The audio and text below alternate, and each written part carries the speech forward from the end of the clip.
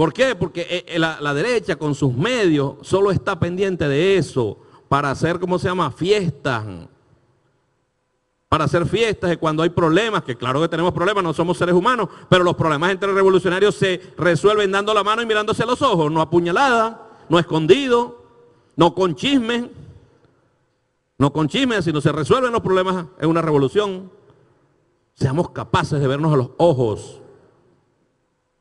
Seamos capaces de vernos a los ojos unos a otros y decirnos lo que tengamos que decirnos. ¿Por qué? Porque aquí no está en juego el futuro de, Diosdado, de Juancito, de Pedrito, no, no, de María, no, no, está en futuro, es en juego el futuro de la patria. Imagínense que Urdaneta, que ayer estábamos en el estado Zulia, cuando le propusieron mil cosas para traicionar a Bolívar, lo hubiese, lo hubiese pensado. Bueno, traicionar a Bolívar. Imagínense que Urdaneta o Sucre hubiese pensado eso en algún momento. ¿Será bueno traicionar? Y si lo traiciono, ¿qué gano yo? Vamos a ver. Ah, mire, compadre, el que, el que entre en esas dudas, hago un retiro yo.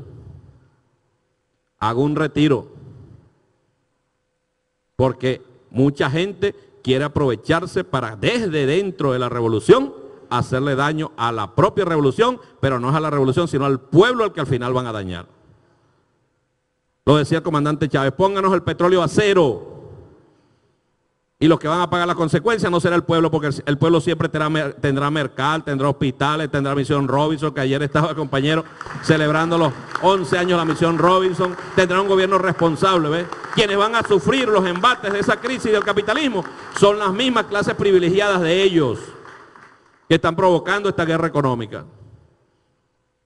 Entonces, blindémonos internamente y blindémonos en Chávez en el pensamiento y en la obra del comandante Chávez. Este partido es una obra de Chávez.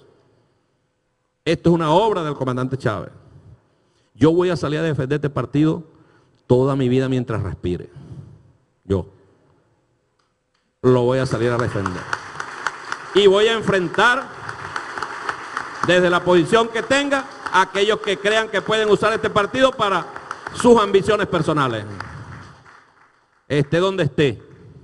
El comandante Chávez dio una orden, ¿vale? El 8 de diciembre, ¿no la dio? Eso no es un lema, eso no es una consigna, unidad, lucha, batalla y victoria, no, eso es una orden que nos dio Chávez. Y los que somos chavistas tenemos que cumplir la orden del comandante Chávez, sin pensarlo dos veces.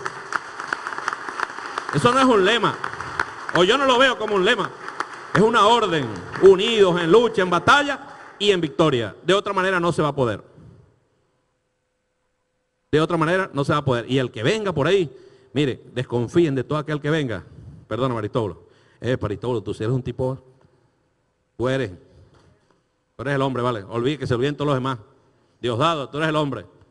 Y Elixa, mire, compañero, ahí viene la garra detrás y el puñal detrás. El que se deje masajear el ego, les aseguro que nadie le va a masajear el el ego de gratis, ¿oyeron? Nadie les va a venir a masajear el ego de gratis. No, hermano, prepara tu equipo y cuando vengan las próximas, te lanza solo que gana. Ay, Dios. El viejo truco, pues. Y a estas alturas que haya gente de la revolución que caiga en eso, da que pensar. A pesar de todo el esfuerzo que hizo el comandante Chávez de haber entregado su vida, haya gente que todavía caiga en eso no está en este proceso de corazón. Está de otra manera, pero de corazón no. yo les pido de verdad que dejemos eso a un lado. Que los que vayan a ser electos sean electos, la gente vaya a votar tranquilamente. Por eso van a ser candidatos todos los que están en las patrullas vanguardia. Todos, todos, todos, todos. Todos. O sea que hay 463.259 candidatos en toda Venezuela y candidatas para ser jefes de 3.988 círculos.